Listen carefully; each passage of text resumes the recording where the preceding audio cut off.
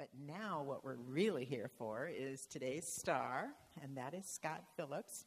He's the operations officer at the Massillon Museum, and that means he does all the record keeping for membership and capital campaign and your donations and he's just uh, he does oh he does room rentals and he does a thousand thousand jobs around the Massillon Museum. But that's not why he's here today. Today he's here to talk to you as Scot Phillips, the artist and uh, I think I'm probably his greatest fan as an artist, um, his most ardent fan. He has a, Kent, a, a, a, BA degree from Kent State University in art history and a minor in fine arts. And um, he's very modest about the shows that he has his work in. I know I've been to the openings of shows in Cleveland and Akron and Canton, and I know he's had lots of other shows that he fails to mention to us until it's too late. So he's a little uh, modest on that that uh, realm. But and when I say I'm an ardent fan, I, I, counted. I have 12 works of Scot's, 12 pieces of artwork in my home. So I love his work and one he's going to tell you about, but it is a mural in my dining room, and uh, it's just my favorite work of art. Um, he helps me feel more bonded to him in his fabulous artwork because he let me help on the Lillian Gish mural and the Tommy Henrich mural. He let me paint inside the lines. no creativity, absolutely. But he did, on my own mural at home, let me paint the last dot on the mural. So, this is my dear friend Scot Phillips here to tell you about his beautiful Massillon murals.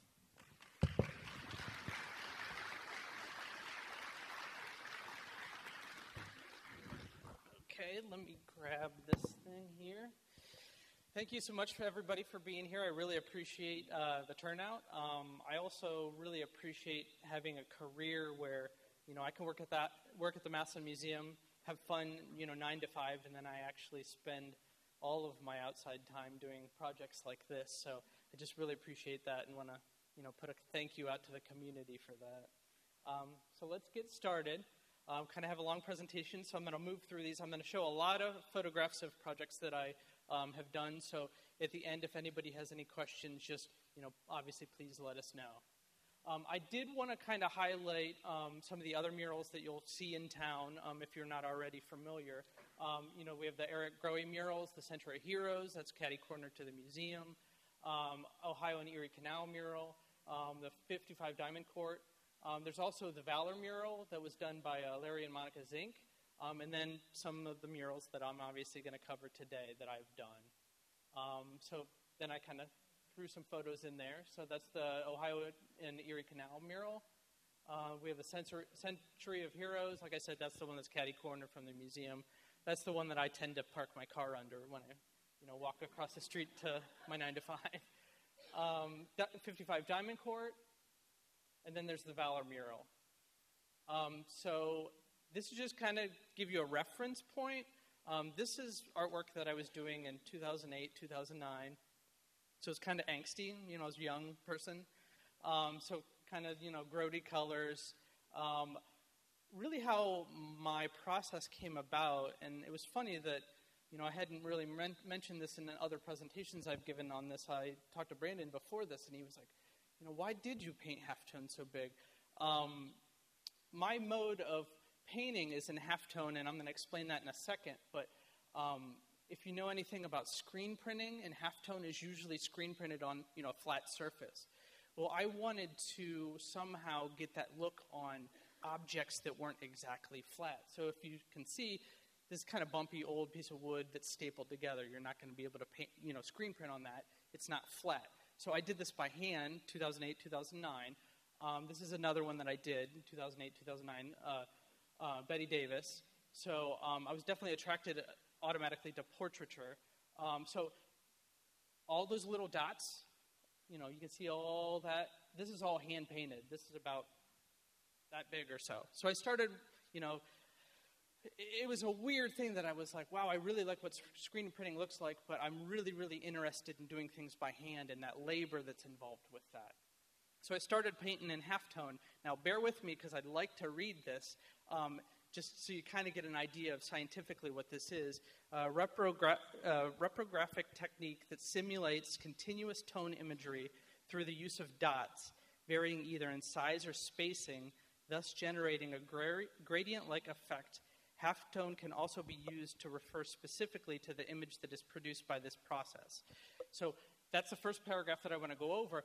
Really, what this is saying is, is I paint a bunch of little dots and depending on how big or small these little dots are and how close together they are, it gives the illusion of grayscale. So it's all about the perception of how far, how close you are to something. So you can see down here in the corner that's real dark, down he- up here is real light, and it's all in black. So there's no grays involved. So um, what I like to do then is, um, obviously, I'm painting in this halftone, uh, and I'm really trying to say that I want to take the process that's normally mechanical, screen printing, you know, you kind of take the artist's hand out of it, and I put my hand in it. So I actually, you know, I'm replacing that with actual labor. And I, I'm into taking a lot of time to do something that there's probably an easier way to do it. I know it's kind of complicated, but that's just kind of where my brain is, a little bit OCD with that sort of thing. Um, so this is one of the projects where I started to get a little bit bigger. This is about five foot by eight foot. I did this in Akron. So this was right before I actually had ever done a mural before. But as you can see, you know, you can see all that halftone. So this is all hand painted. Uh, so I went through in every little dot. Um, I worked in a great, uh, you know, a square pattern. You know, kind of marked it off, knew exactly where things were, and I just kind of went through, um, painted all of those.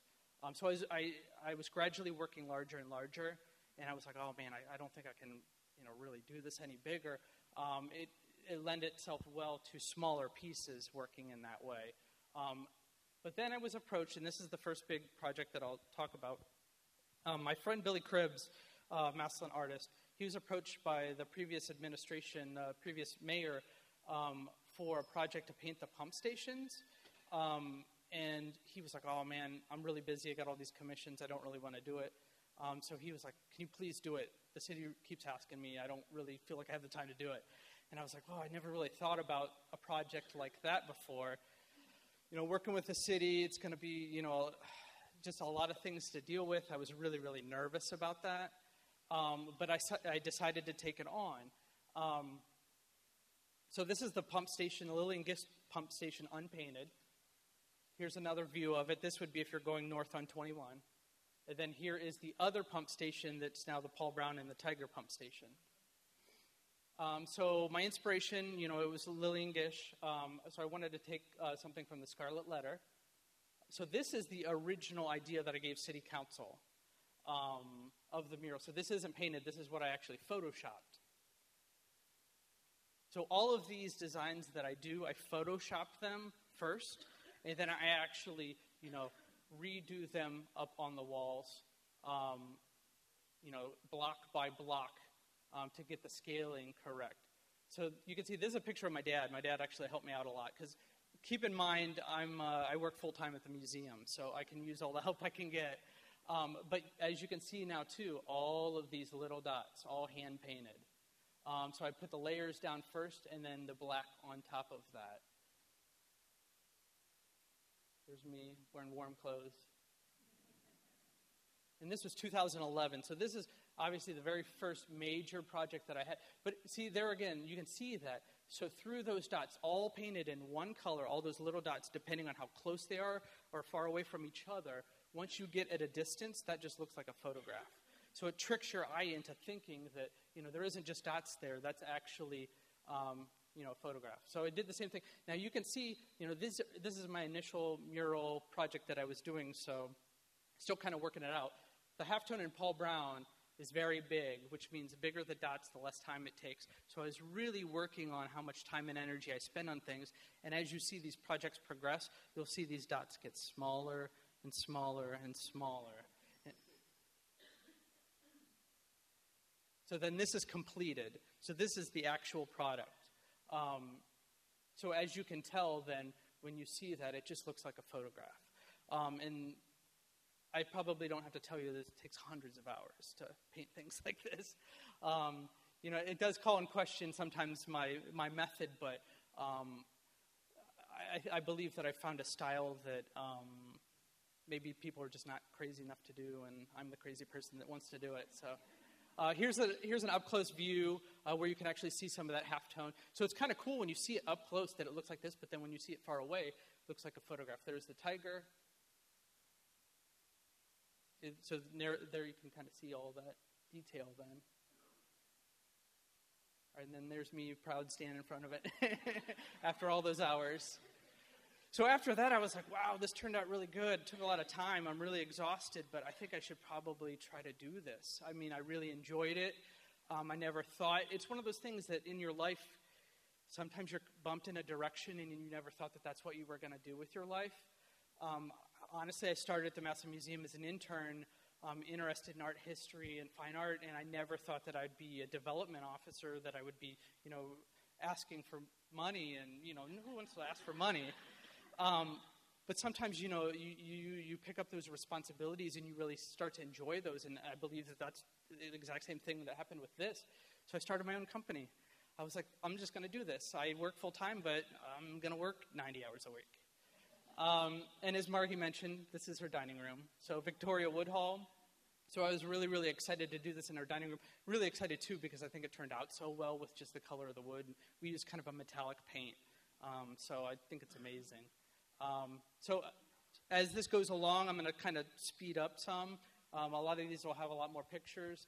Um, this is a sifting machine that I did for Midwestern Industries in Massillon in 2012.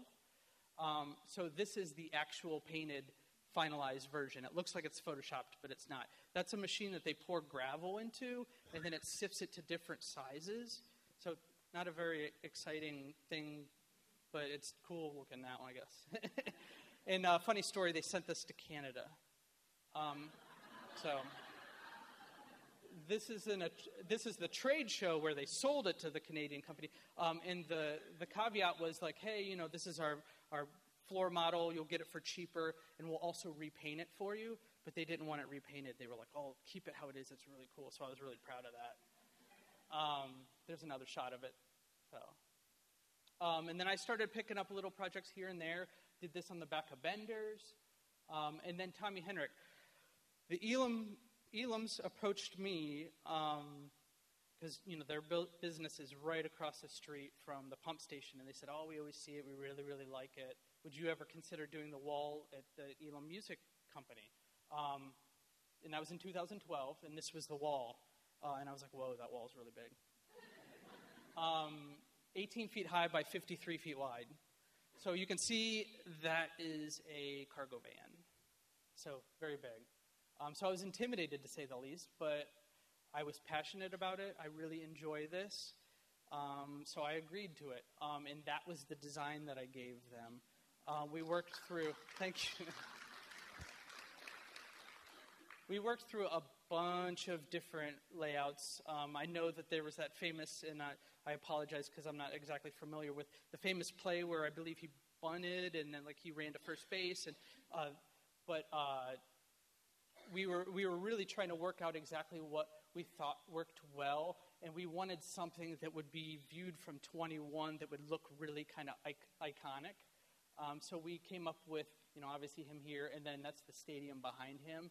And if you notice, that's very, very tight halftone and very loose halftone. So I began to start playing with those layers and how big I actually make those dots when I actually layer them. Um, so this is when we started. Um, so I laid everything out, put down the, the undercoating, and now you can see these are all the tiny little dots I'm drawing on the wall. They actually skim coated this wall so that I could actually draw on it so it wasn't bit brick. Um, there's my dad again helping me. He used to show up right after work. It's awesome. Um, short curl paint, so it's super, super high grade industrial coating paint. It's what they use on the bottoms of boats. So definitely made to uh, you know stand up to the elements. So here you can see the actual process. So all of these are I Photoshop those. So I'll take a Wacom pen, and that's like a technology that I can actually take a little pen and I draw, and then it pops up on the computer. I'm actually drawing on the computer screen with like a, you know, it's like a little pencil. Um, so I literally lay this out in Photoshop, draw all those, and then I get this printed large scale, and then draw them again. And then after they're drawn on the wall, then I paint them all. So very involved. There I'm, I'm not taking a nap, I promise. So um, then I'm going to kind of rifle some of, through some of these photos. Here's me drawing some more dots. There you can see it progressing. You can see the size of those dots compared to the scale. There's Erin, my, one of my assistants. She's been amazing too. Her schedule is like the exact opposite of mine, so it's great. So when I'm nine to five and she can be there, then she takes off for work, and then you know I work you know in the evenings a lot of times. There's me pulling another late night. I'm actually driving this out, not driving it into the parking lot. So this is when I'm starting.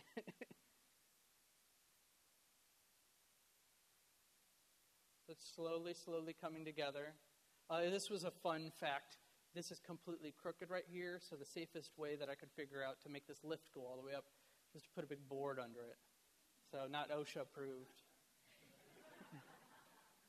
it was really hot the summer of 2012, too. I don't know if anybody remembers. That was the summer we had like 104 degree temperatures.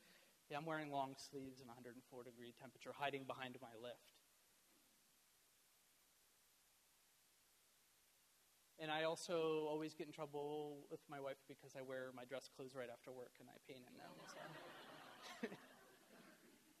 so you can see this is really coming together. This is all finished on this side. So you can see what it does then once you know you get that half tone down. I mean, it's like a photograph.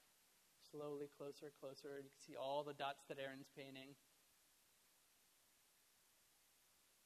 And it's cool too because then I'm going to go back to this one. I, I really have a fond um, uh, I really, really appreciate old sign painting too, and I'm really getting into that as well. So, so all this, you know, was all hand drawn as well. It just, I'm, I'm really kind of getting into that. Um, so getting closer and closer. Oh my gosh, there's Shane, Shane Jackson.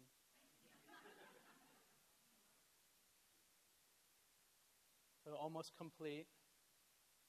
Yep, and there, there's the complete version of it. Um, at least I thought it was complete. Then this happened about a week later. I don't know if anybody knows about this, but um, it was actually supposed to have a clear coating, and the contractor put on a white coating.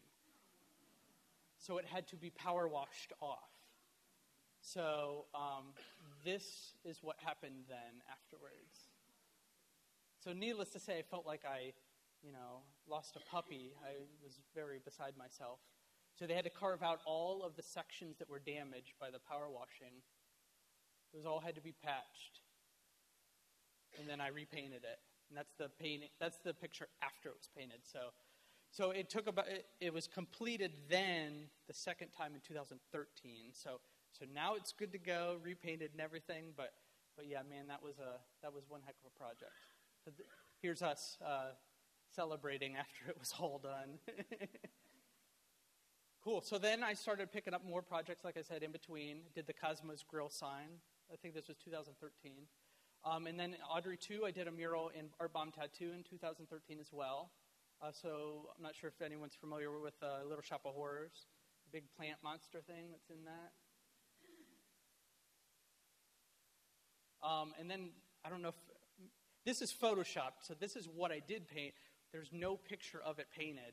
Um, I've been trying to find one uh, the Village Idiots bus um, that caught on fire. Yes, no one got a picture before. I think it was like they took it up the weekend after I painted it and it caught on fire. Um, and there was the joke that I used flammable paint, but. Um, so then uh, I actually got commissioned again by Midwestern Industries to do a second sifting machine. Uh, this one, though, because of the machine, it had parts on the other side. We could only paint one side, so they wanted the logo side. So I did one of those again, which was really awesome because um, this one went to Las Vegas. Um, so they were kind of traveling all around. Uh, I had to use this crazy paint that was food safe because this one didn't do gravel. This was actually for, for salt or sugar or something, um, which was kind of interesting. Um, so then I did uh, a mural of a photograph uh, Dori Heck's mother. Um, think it was her grandmother actually. Um, so this is actually interior mural, which mural was awesome because I didn't have to worry about the elements, which was definitely a big thing with a lot of the other projects I had done. But as you can see, the same thing. She wanted the dots a lot bigger, though, so it looked a little bit more abstract. So we kind of played around with how with the sizing on that. Um, but I really like that one because if you walk down, that's right on Lincoln Way. If you walk down the street, you can peek in the windows and see it.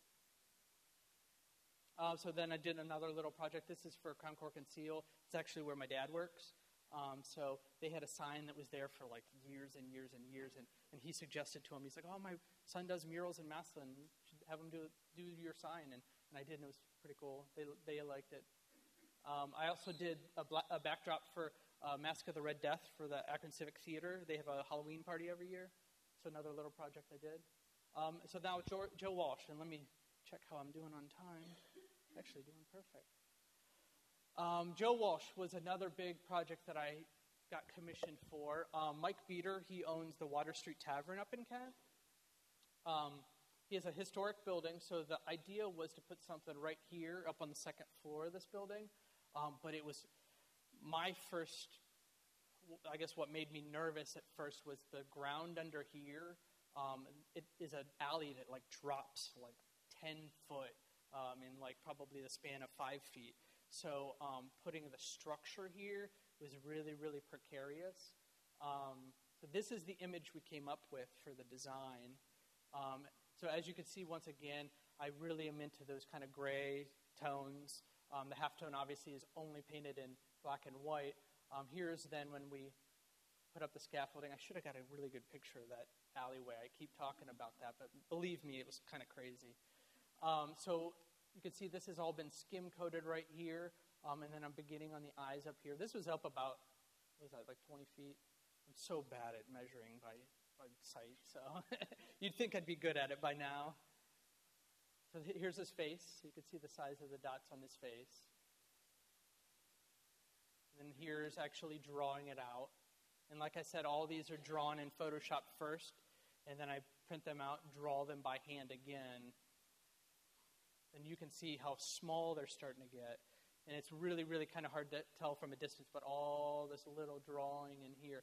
Um, and if you see a bunch of these X's, my secret way of telling myself what's black is just to draw an X on it. So I have to always make sure right before I paint that whatever, you know, kind of section that's drawn and enclosed doesn't have an X, or it has an X inside of it if I'm, you know, painting in black. There's Erin again, and you can see how small these are now. So those are much smaller. Tom, Tommy Henrich's are about this big. These are about this big. So there's her goofing around up on the left or on the scaffold. She drew a smiley face. There's me in front of it, super exhausted. You can kind of see there you go. There's a car parked there. See, you can kind of kind of see it kind of goes down at an angle. So here we are a little bit further in the project. Here I am painting out some, some letters. It kind of gives you a scale, then you see me, and then you can see those dots now. And I'm scared of heights. I probably should have mentioned that. like, actually, like, really scared of heights. I, so I, I always have my harness on. So, and I made Erin do it too, so got to be safe. Oh, here we are getting a little bit further. This is July of 2016, or 16, yeah. Um, so it was definitely warm when we were doing it. Um, and it was funny because um, we wanted to have this done before they have a Fourth of July kind of festival in Kent that weekend. Um, so it was one of those things that we were working on it for about a week or two, because um, most of the time these projects take you know months to to pull off. We were working for a week or two, and the building owner was like, "Oh man, it'd be really great if we could get this done by the festival for you know July Fourth weekend." And it was like a week. So we stayed out there for like I think I think I used some vacation days are called off. I'm not sure Alex is here. She might know. Um, but yeah, we worked furiously for like 12 hours a day for like three or four days. Um, so here you can see again. Here's my friend Andy's painting. Um, so you can see how just crazy small these dots are. And one thing too is this paint. Like I said, it's this high, you know, high content because this black, I can paint it on one coat. What other paint do you know that you can paint black in one coat? That's crazy. It's so thick, it's like tar. So imagine, two painting this, trying to keep this accurate and painting with like a bucket of tar. It's, it's kind of insane. Um, so this is when it was finished then. and then the day that they took down the scaffolding, and then there it is. So I was very proud with proud proud with it. Um, it's, it's crazy though too. I get a lot of comments that it, it, looks like a vinyl banner that was put up on the wall, and I'm kind of proud of that though. But it was because it's so the the paint is so high gloss um, that you know it does kind of looks like it was just printed up. And there's a shot of it. You know, oh there there we go. There's the alley. Maybe not as crazy as I made it sound, but when you're up on a lift and you're scared of heights, it's kind of crazy. But cool. And there's a, that's the festival that they had. So everyone is happy because hey, it's done. So, and it does. It looks like it's Photoshop, but it's, I promise you, it's not. So it's such a dark black color that it just renders as, as you know, so so uh, you know, opaque. So then at this time, this is what I'm how I'm working then with my painting. So this would be about 2016. So once again, this is probably 32 by 26 or 32 by 20 something. Um, so once again, I'm hand painting all these dots. This is a historic photograph that I found of bunch of guys hanging out in front of a pharmacy. Um, there's some guys with handkerchiefs on their face, kind of look like gang members. So. But these are the paintings that I'm doing at the same time I'm doing these projects. So. There's another one. So you can see that play with those dots. And I like the idea that it's like you can't even see who that guy is. Kind of looks like he's giving you a scowl. But you can't really tell because those dots kind of hide his face, hide his identity. So starting to work a little bit more conceptual than with the, with that, that dot pattern. Um, and then this is a piece that I did for the Canton Museum of Art. They had a fundraiser. So um, I thought this one was cool because I did different images on the border. Um, this, is, this piece was supposed to be about vanity, so it's kind of a little bit dark. But a uh, um, bunch of skulls on the outside, and then mannequin hands around the edge, and then her with a mirror right here. So but I thought it turned out pretty interesting. Turned out really heavy, though. It was about 15 pounds because I used all this crazy wood. It was pretty big. Um, but then uh, I got another project. Um, I was commissioned by Dave Weaver at uh, Massillon Washington High School. I'm not sure if any of you guys are familiar with Dave Weaver. Um, he pays for a lot of that stuff that's in that, like, um, I think they call it like the you know Hall of Champions at the high school, where there's all the awards up on the wall. I mean, he commissions like all of that stuff. So for the longest time, he was trying to find somebody to do a painting actually um, up in this space right here. For the longest time, they had this paint, uh, Paul Brown uh, photo, uh, but they wanted something painted there. And this is a training facility. Uh, so the facility goes out that way then. If you went back this way, that would be the cafeteria of the high school. Um, so this was cool too because I went to Washington High School. Um, so it was actually the first time I had been back in a very long time. So this was the image that we decided on using.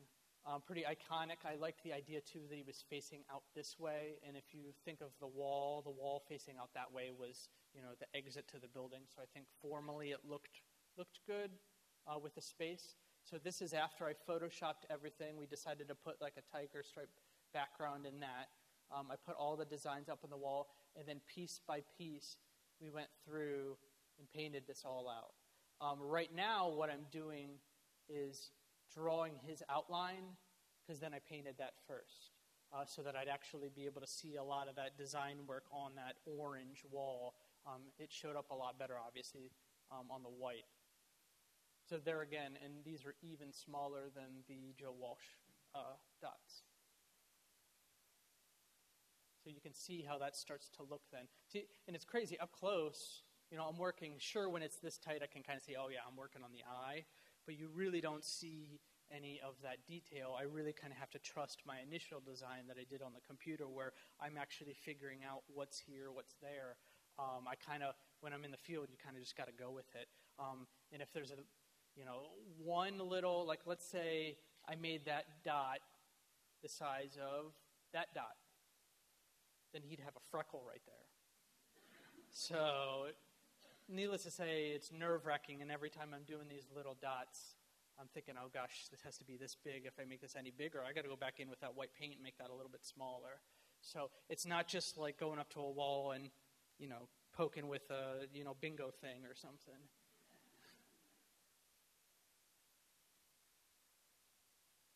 there I am up on the lift. What was cool is sometimes the hardest part about these murals, besides you know taking a bunch of time to paint them is finding the equipment. Um, they actually had their own lift at the high school, which was awesome because they were like, "Oh, we have a lift in the closet. We'll bring it out for you." So we didn't have to work that out at all. It was great. Um, there you can see it a little bit further. Is Fedora coming out? And once again, working very late at night. Um, surprisingly, with high school students, they're very loud. So uh, I tended to want to work at night when the security guards were there, where I kind of could just have peace and quiet. They were all friendly, but they were like, "Oh, you missed a spot." And, you know. so here, here we are a little bit further. And you can see the hand painted lettering too. Like I said, I'm really having an interest in that. So just you know how that drop shadow works on top of that signature. And all the dots then you can see. That's just him behind that signature, part of his coat, part of where his coat ends. See, I can, I can start to look at these dots and see exactly what it is, even though it's pretty uh, ambiguous. So there you go again. You can kind of see. What I tend to do is I like to outline all the dots that are going to be white and then kind of go back through. It's a little bit more calming to just take a brush and just kind of work right through all those little dots then. There's a comparison, my hand and how big the dots are. so that really kind of gives you an idea. So, then, so this is once I drew it all out. It's real, real hard to tell, especially on the cinder block. Cinder block kind of hides those dots a lot. Um, but slowly then just started painting all that out, getting real, real close then, and then that's it completed. So I think that this took part time, showing up after work and weekends, probably about probably about two months, maybe a little bit less than two months or so. Um, one thing too that I always make clear to whoever's commissioning on me on the projects, you know, if it works out for them, is obviously I do work full time, uh, so I have assistants. I like to be there though uh, myself, um, so it does take a little bit longer than if I was just doing this. But I think the time involved and the um, how precise I am and just the time and energy I, I give it, I think it's worth waiting a little bit more time. Um, I don't usually have anybody that approaches me and they say, "Oh, I have to have this done in two weeks." So, um, and then altar murals. I did um, the altar murals at uh, St. Mary's uh, when Kuhn Restoration, after the fire, they restored the church.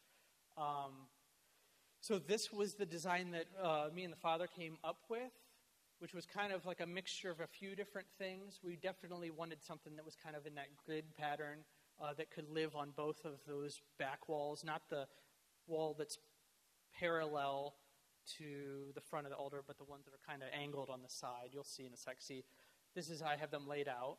This is when we had all the scaffolding up. Um, and man, it was crazy when that whole church was filled up with that scaffolding. Um, but they did an amazing job with all of that re- restoration. Everything, down to the light fixtures, were polished. Like everything in that church was restored.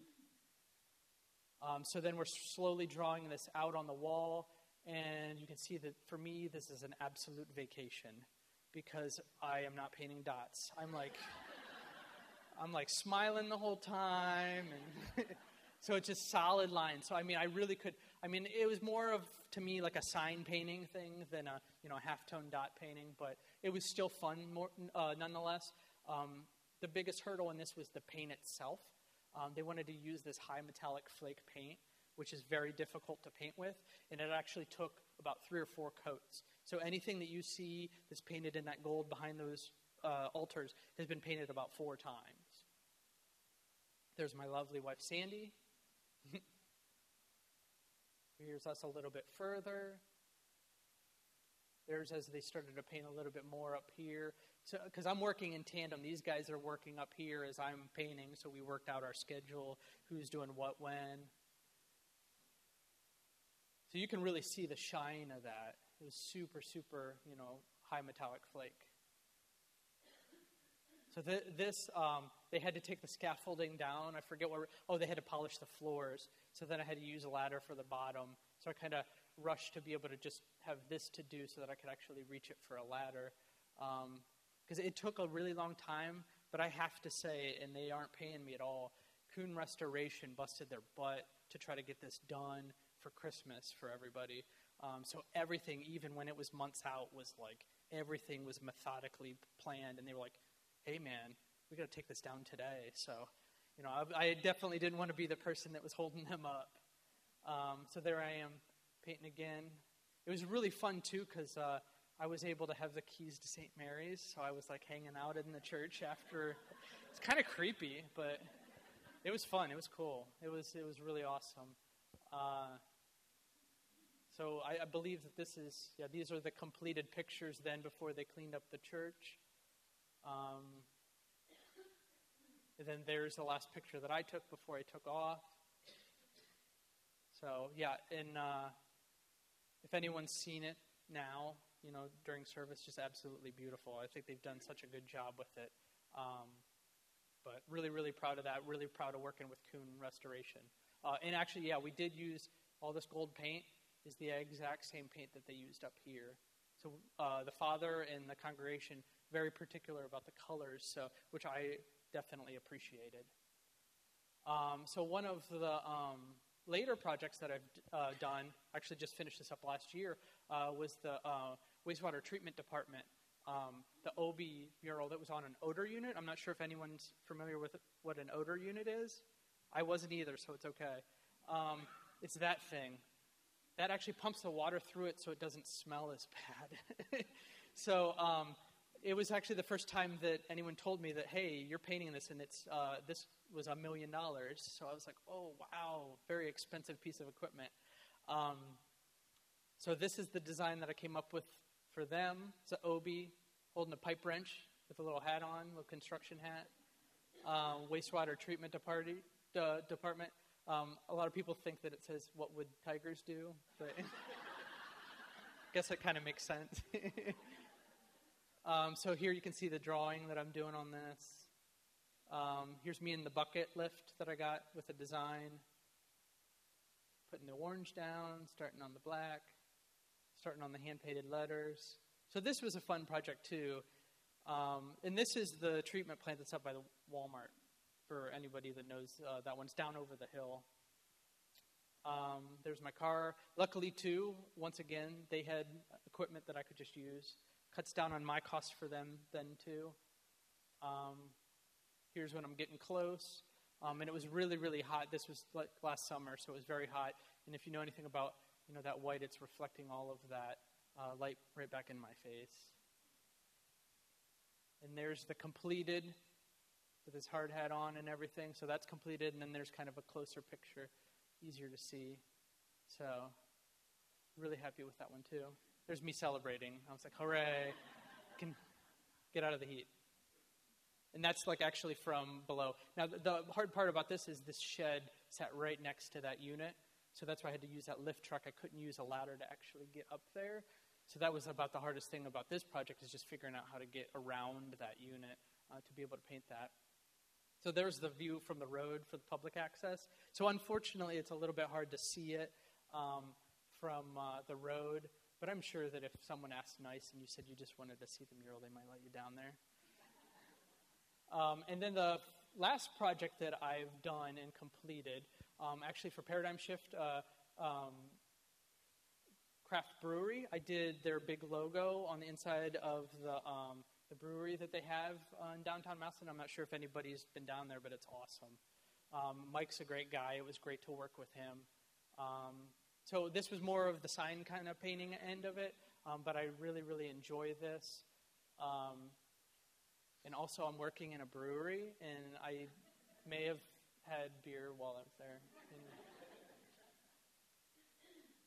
So this was nice too, indoor, indoor project, um, you know, a little bit smaller scope, not as much overhead, easier to complete. So it's nice. I try to schedule myself so I'm doing these kind of things, and then I have a, something real big and something smaller, and you know, just so I don't go absolutely nuts. Um, but yeah, as you can see, that this is a little bit more simple than what I'm used to. So it's nice to have these projects inside, you know, in between projects that I'm doing that are a little bit more labor intensive.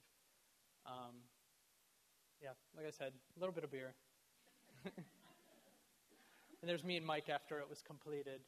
Um, we uh, completed a couple weeks before his actual public opening, so we were happy with that. And um, you know, I, I uh, just really, really happy to work with a local business on something like this, being born in Massillon, and obviously uh, Massillon Company. I have an interest in craft brew breweries and, and beer, so um, just really, really excited to be able to help a local business owner out.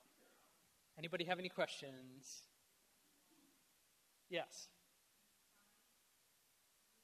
I don't. I don't. My wife, yeah, my wife gives me a, you know, an earful about that. I'm, I'm going to start. Yeah, I'm going I'm going to start. I don't, I'm just, I don't know. The, the, if I see a mural and then I see somebody's name on it real big, I just, I don't know. I just, I like seeing the mural itself. I like seeing the visual imagery and that being what's important. Um, yes?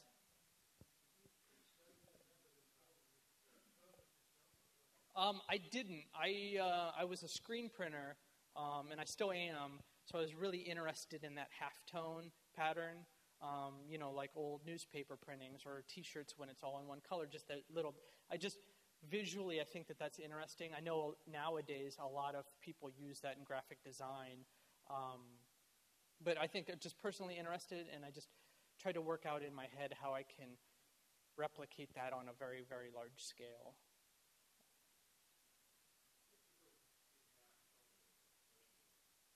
Um, I would say impressionism, impressionism and like pointillism. That's more of just um, there's a color. Right. There's a little bit more artist hand involved in that. Isn't as much as I would argue all day long to to anybody that my artist hand is in that because you know I drew every one of those dots a million times. But I think that you see like a little bit more fluid artist hand in that, um, where this is very geometric, very engineered. Um, but um, and then the the idea too that you know this is just all one tone. The only tones I'm giving with this are layers on top or below, um, but any of the halftone itself is always just one solid color. Yes, and I don't do it myself because that's a very sticky, like. It it almost turns into like a glass. It's weird. Um, it's uh, I specifically use Sherwin Williams products, um, and I always contract that out. Um, I have that in my contracts that I won't do any clear coating work because the fact that that's such a touchy thing, I'm not trained on it, and I always want someone that is specifically trained on how to use that product. So. Um, it depends on the substrate more than anything. Um, they only can guarantee my paint and my clear coats. I think it's at least 30 years, probably. I mean, it's a good, significant amount of time, but it never fails that what is the detriment to a mural is, in fact, not the product, especially if you. I go by crazy means to make sure that all the products that I use are the highest grade for out, outdoors. It's really going to be your substrate and what's under it and any coatings that you have under a wall that you know might have been painted 100 years ago or you know 50 years ago and you don't know what that product is getting that bonding is really what's important. So yeah. Right right and i'm actually right and i'm actually really glad that you brought that up. Um, i actually wasn't aware that how those buildings were designed. That wall, her wall specifically, because if you think about Paul Brown and then you think about Lillian Gish, the two pump stations, you look at Paul Brown, it's perfect. Nothing wrong with it. Well, the reason Lillian Gish is completely different is because that wall behind her actually is made to leak water. It's holding water behind that. So if you actually go out to that pump station, you stand there, there's little drops of water leaking out of the wall. They actually made that to do that. And the city engineer was like, there's really nothing we can do. So I'm working with them because obviously it's my work. I want that to look good. But you cannot, you know, no matter what, if a wall leaks water, and you know this with a basement, water leaks into a wall, you can paint anything on it, it's not going to last. Um, so we're going to try to work out possibly doing um, like a sheeting, like a cover over top, and then paint on that.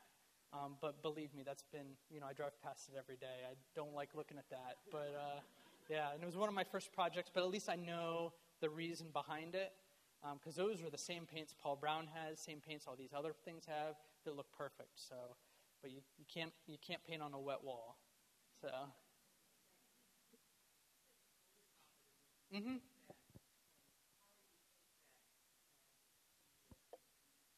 I get it. Yes. Um, I carbon it onto the wall. So I'm drawing it again after I've drawn it in Photoshop. And I actually take it probably two foot by two foot, three foot by three foot sections, do a section at a time. So I've actually drawn it on the computer and then I draw it in real life and then paint it. So very labor intensive. Because um, anything with projecting, you're going to have a perspective. You know, you're never going to get that perfect. Plus, you know, I, I like the idea once again. It's almost a conceptual thing with labor and what's worth doing, you know, 100 hours of work on. But, oh, and because uh, I'll get people, they'll say, like, well, if you do it like this, it'll cut out so much of this work. And I was like, well, to me, it feels real doing it like this. So um, for me, it's worth taking the extra time and energy. So. Is another question up? Yes.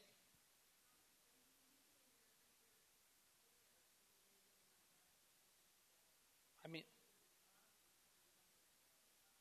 yeah, I mean, I would love to. Actually, I know Mike is part of the Craft Brewers Association, and he's talked to other breweries because um, I'm actually a really, really big fan of yeah, Royal Docks, uh, Great Lakes, actually. Um, I'd love to do something for Great Lakes as well, but yeah, I'm always open to that. Um, that would be awesome, actually. Yes, well, cool. Thank you so much, and uh, really appreciate your time.